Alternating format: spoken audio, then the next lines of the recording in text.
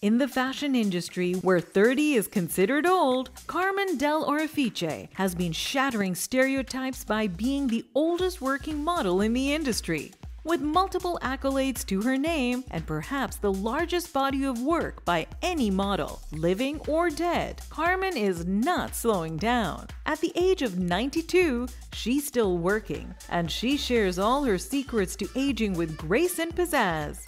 Head over to Healthy at 100 to hear all about her captivating life, how she stays healthy and beautiful, and her top tips to help you do the same.